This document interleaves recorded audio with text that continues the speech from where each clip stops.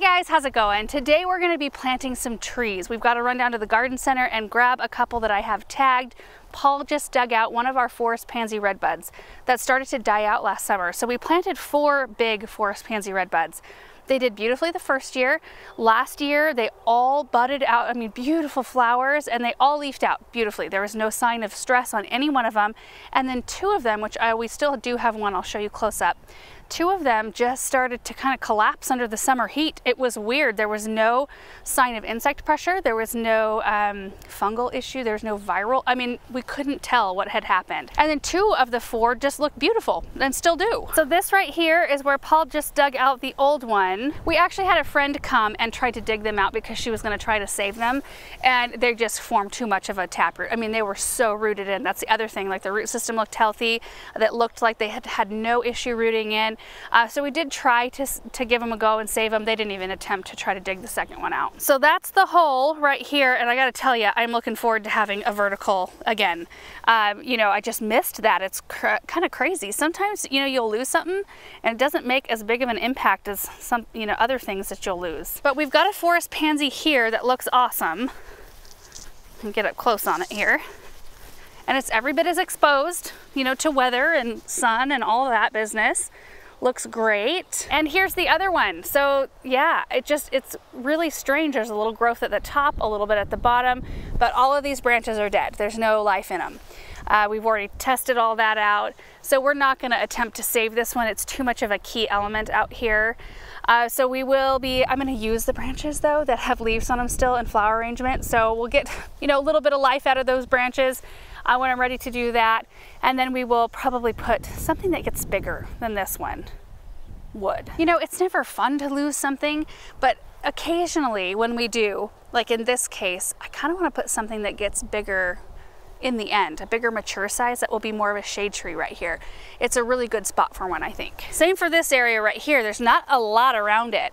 And that forest pansy, I can't remember the, where they top out at, but they don't get enormous. It's like a medium-sized tree.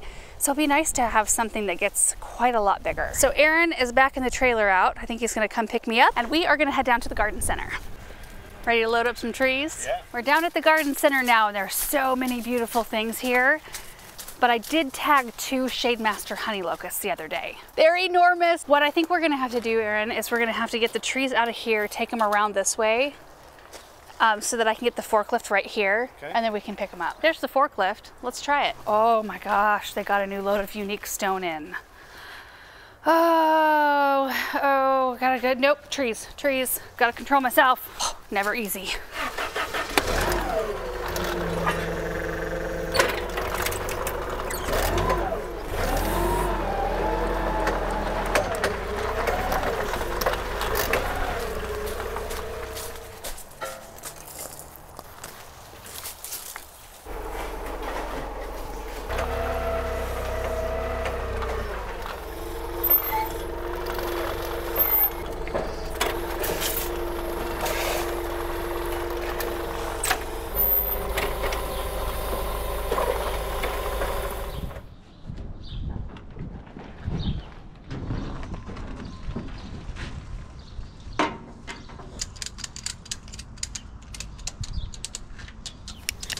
Okay guys, we got them strapped in.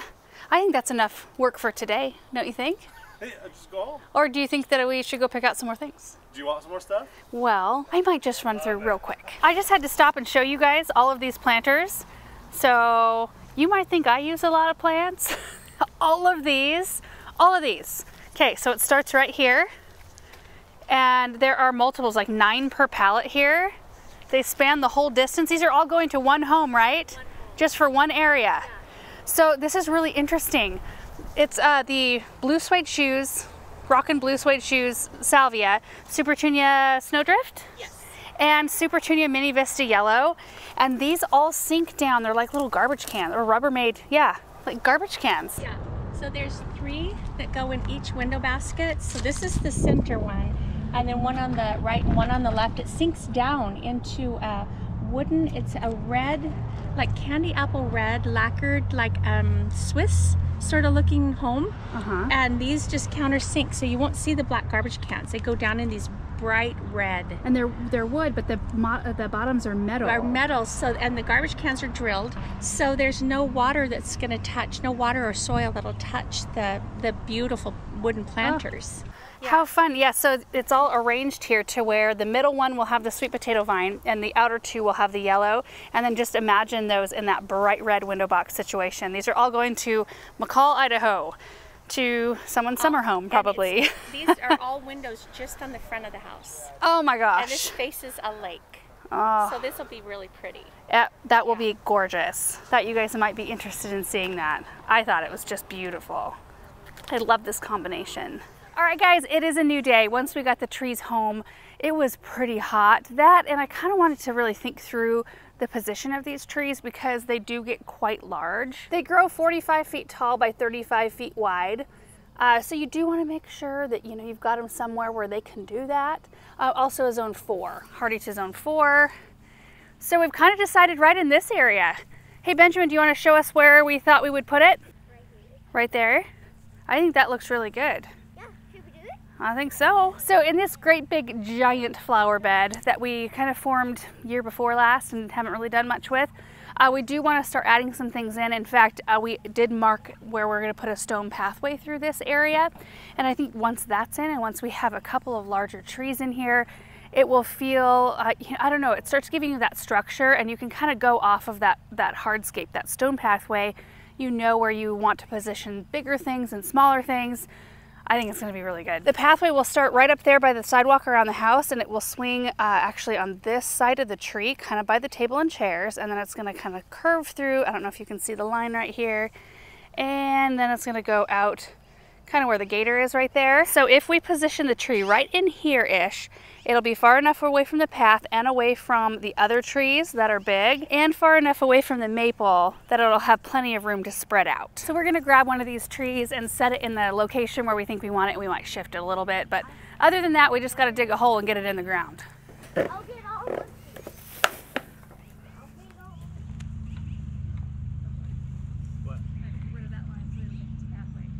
And there it is.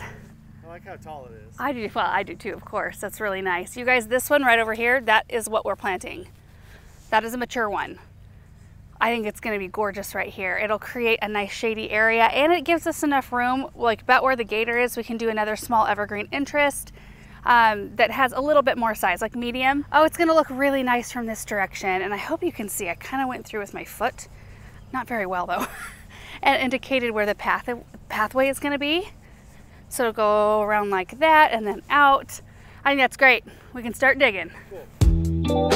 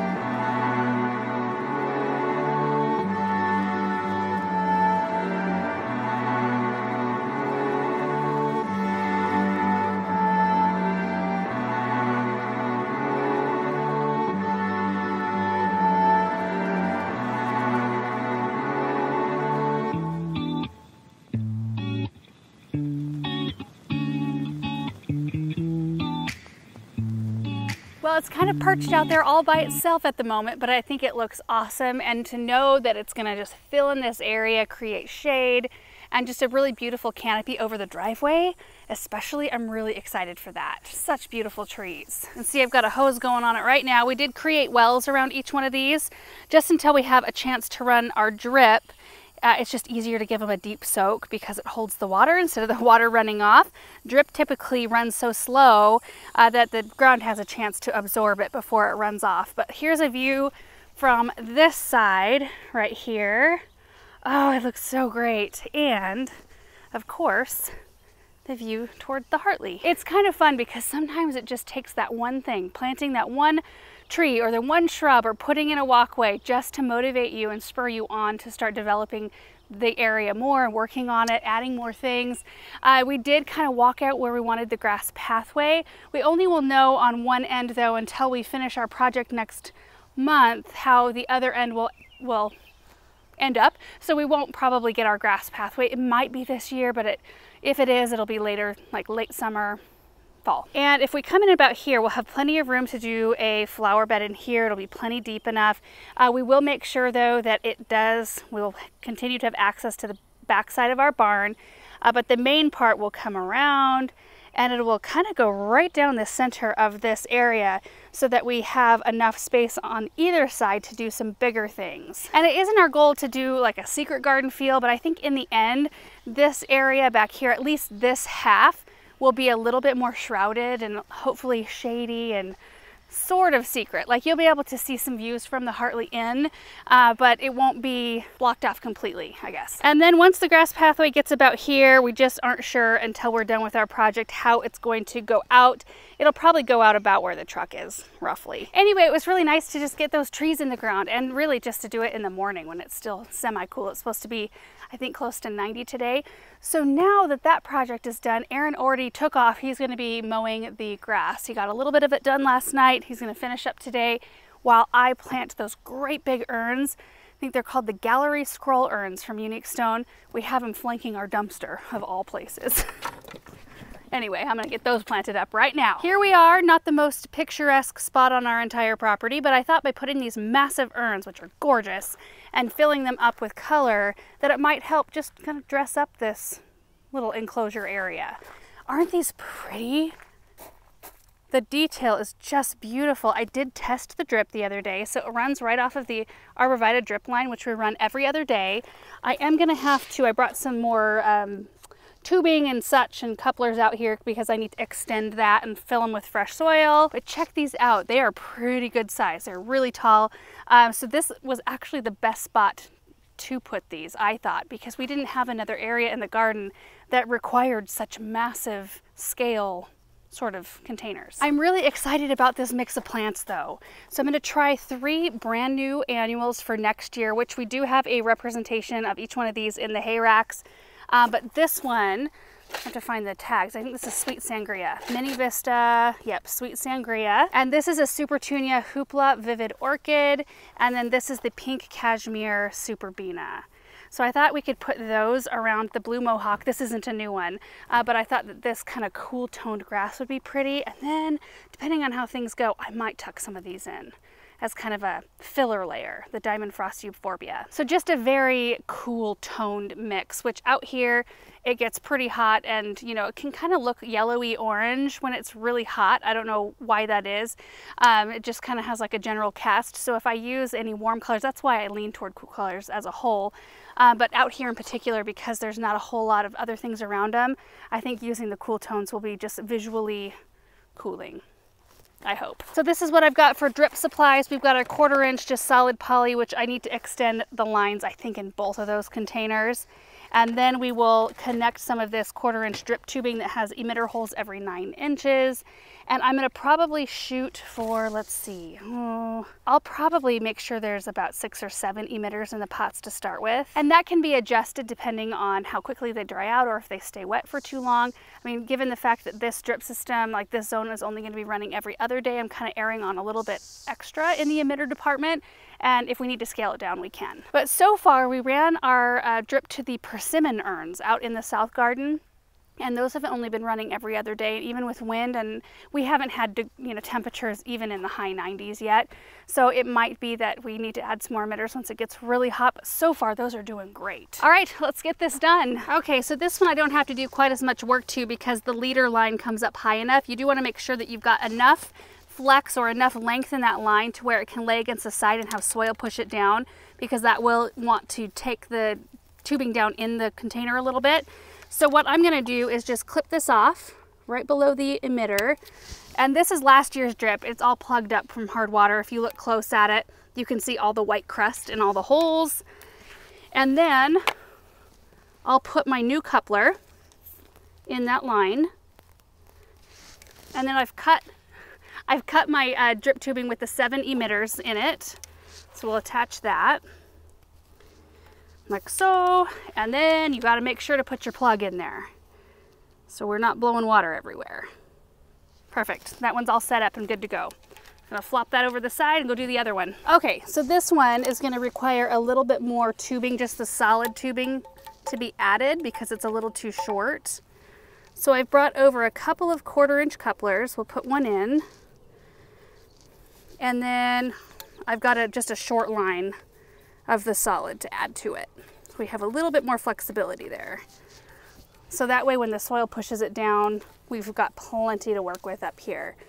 Put my next quarter inch coupler in. So. Then our drip tubing. And our plug. Perfect. Good to go. Now soil.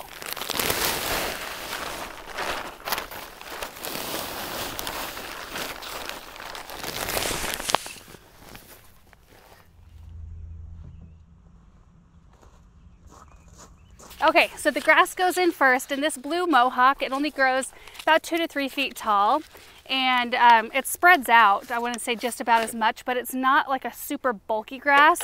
It plays really well with others. It doesn't crowd each other out. It'll just kind of like work its way through the canopy of the other plants. roughing up the roots on this one just a little bit. Don't have to do that on many, mostly grasses. And probably the Superbenas. All right, so then I'm gonna go in with my annuals around the edge and I'm using two of each variety. Just putting them on opposite sides of the container.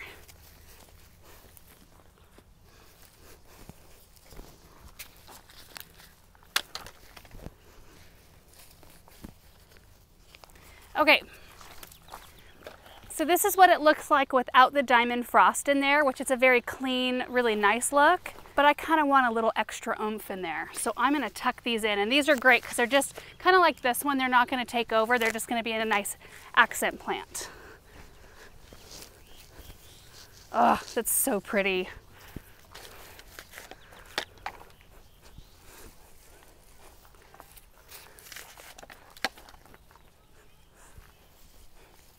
Okay. Now we're gonna take our drip line and we're just gonna work it around all of these plants.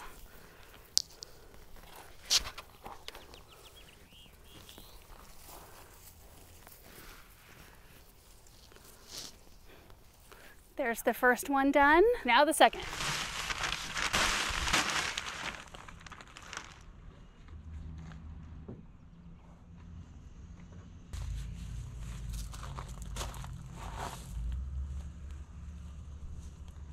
And there's the second one done.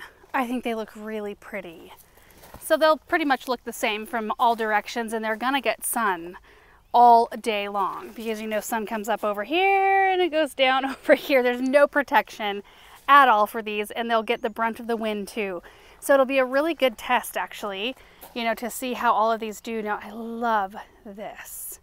As I was planting this whole container, like I could get rid of this one and this one and I could just have that soft pink, the white and the bluegrass. And I think that would be a really sweet blend. But I think that having the bright, you know, clearly having the brighter pinks in here will make the whole thing stand out. I'm really excited to see how they grow together. And here's a backed up look. So this is kind of our before shot. and we'll be able to give you some really fun updates. I think in even just one month, we will see some major growth and big color out here. And you guys, that is gonna do it for today's projects. I do think that Aaron is going to have a camera out when he mows, so I think we'll leave you with that as our ending, our parting shot. Um, it's always kind of peaceful to watch that it's kind of mesmerizing like watching fire. So thank you guys so much for watching this video. I hope you're having a great day and we will see you in the next one.